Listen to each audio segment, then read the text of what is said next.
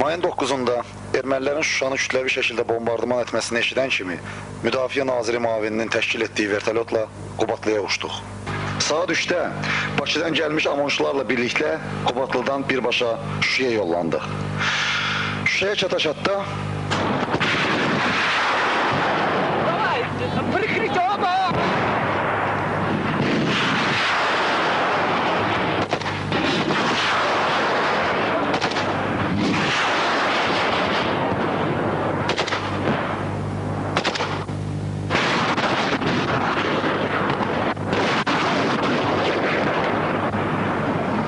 Daşaltının kəndarında amonçular ermənilərin atəş nöqtəsini susturandan sonra yox, biz irəli getmədik. Çünki bunun mənası yox idi. Artıq Şuşanı təhkə dirilər yox, ölülər də tərk edirdi.